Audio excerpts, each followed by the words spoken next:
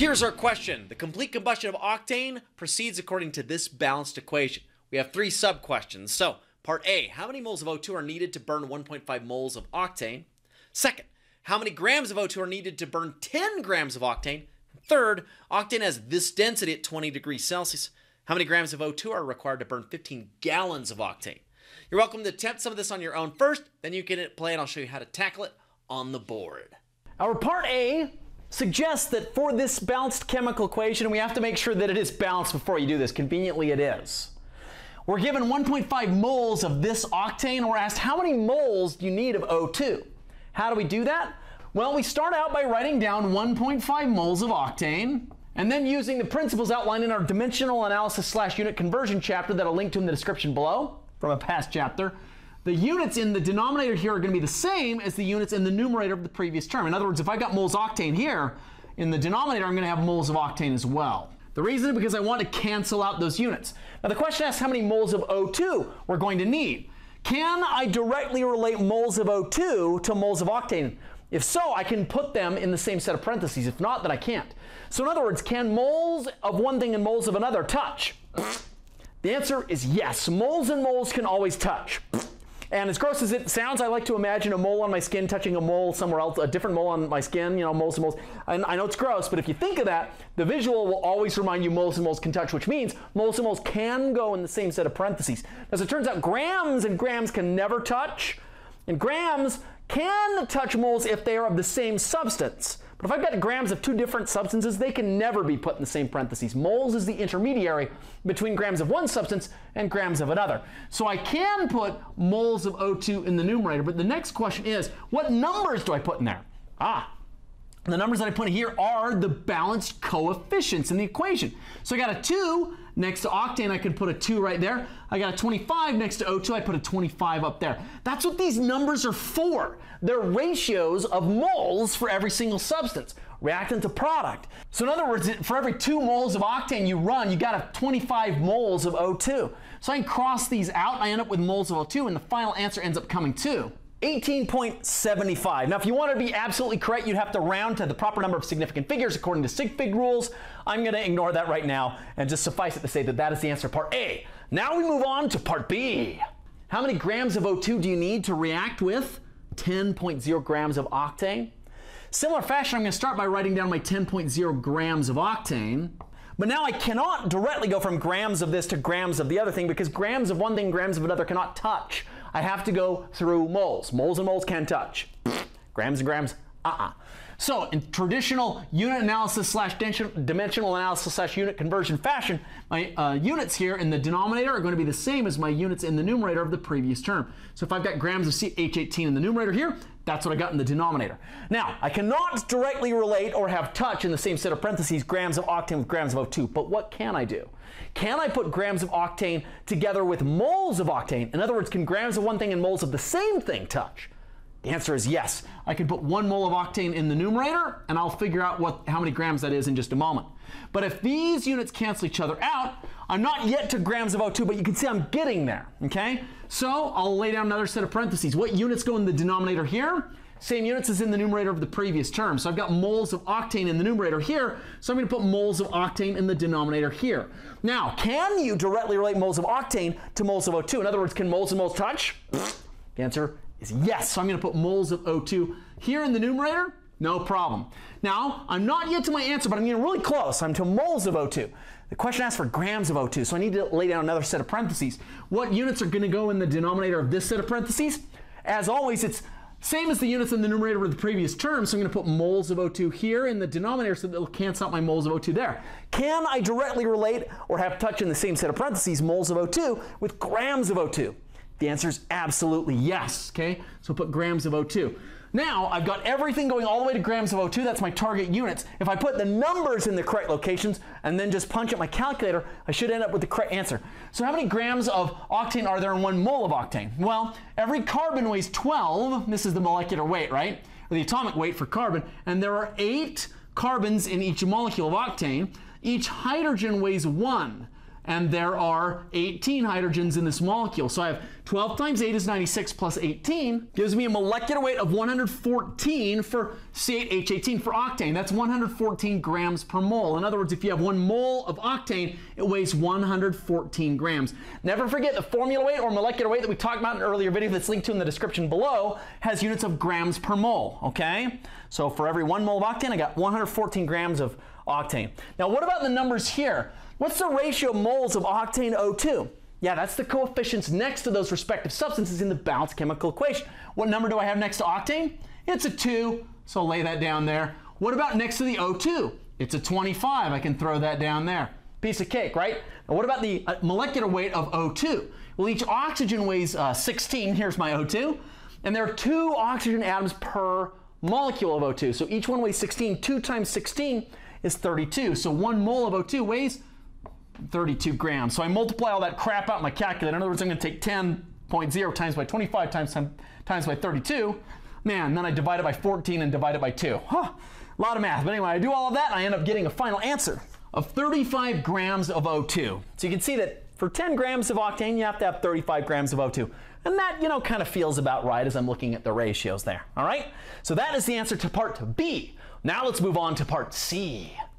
Okay, this is as complicated as you're ever going to see on one of these questions, okay? I got 15 gallons of octane. How many grams of O2 do I need? So using, again, the principles of dimensional analysis slash unit conversion, I'm going to write down here 15.0 gallons, and I'm abbreviating that with just the letters GAL, okay? I want to eventually get to units of grams of O2. So as per usual, I'm going to write down another set of parentheses, and I'm going to have to start making my sets of parentheses smaller because there's going to be a lot of them here, okay? I'm going to put my units here in the denominator will be the same as my units in the numerator of the previous term, gallons. Now, can I directly relate gallons of one thing to grams of another?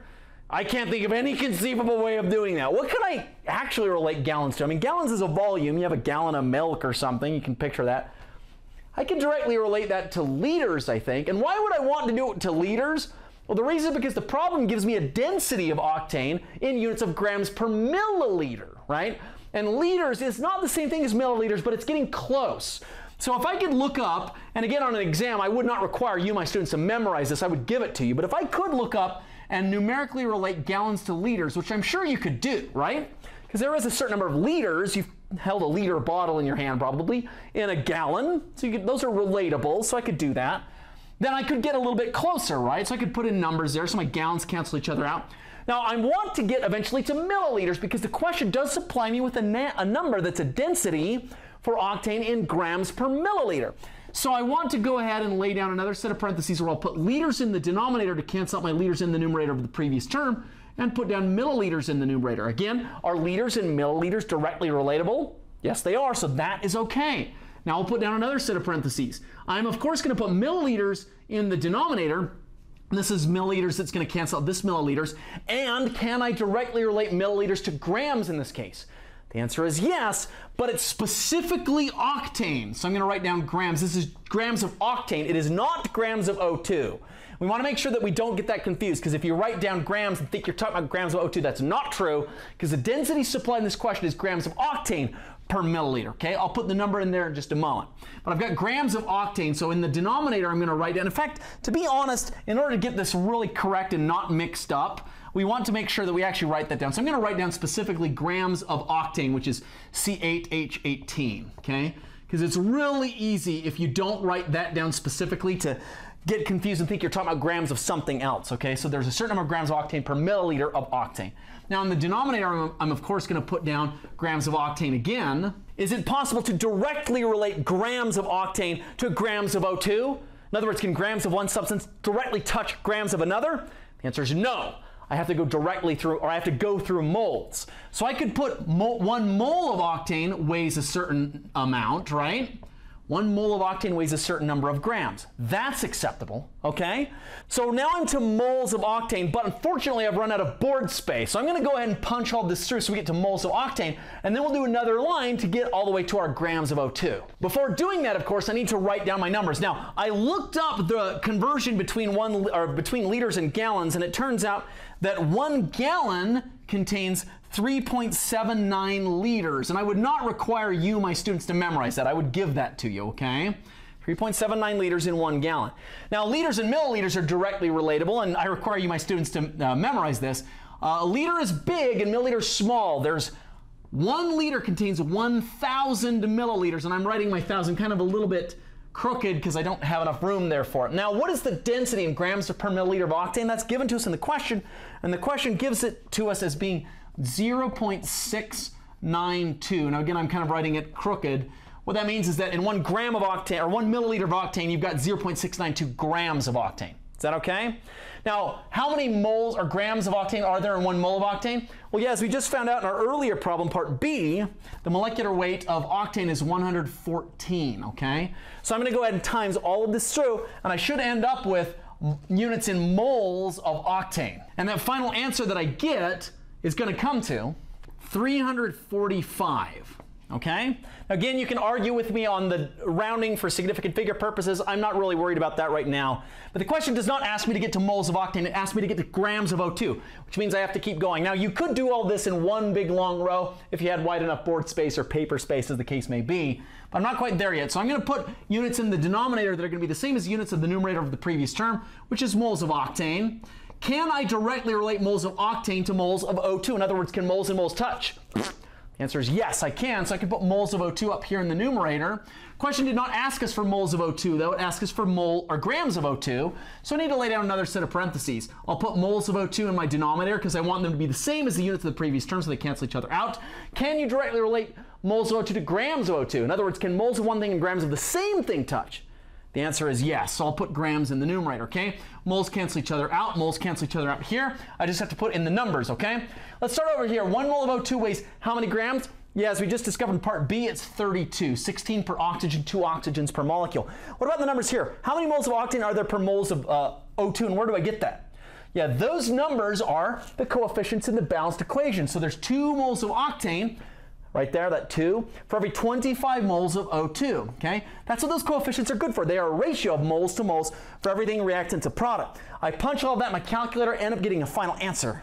138,035 grams of O2. So you can see that it requires a lot of grams of O2 to react with uh, 15 gallons of octane. Now, if you want, you can rewrite this having the proper number of significant figures, and you can rewrite it with scientific notation as uh, at your discretion. I'm not going to do that right now. I just want to show you the process of how to convert from gallons of one thing to grams of another.